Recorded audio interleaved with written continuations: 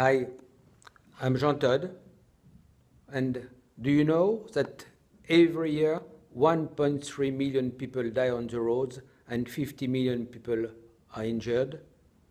It is time to act, and we must do it now. Please sign the pledge.